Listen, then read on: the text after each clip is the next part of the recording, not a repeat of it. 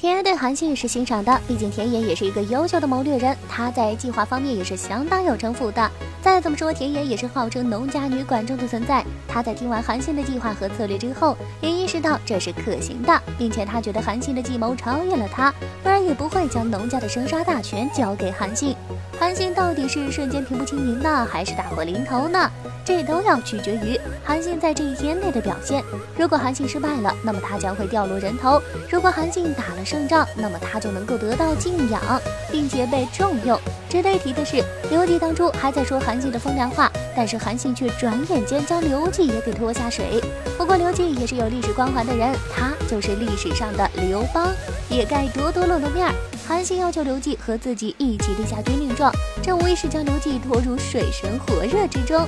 而刘季本来就是一个比较胆小的角色，他之前还是处于一个看戏的状态，但是现在自己却成为了戏中人，并且脑袋很有可能随时不保，这样刘季也笑不出来了。刘季是拥有历史光环的人，他肯定不会有事儿。对此你是什么看法呢？欢迎大家留言讨论。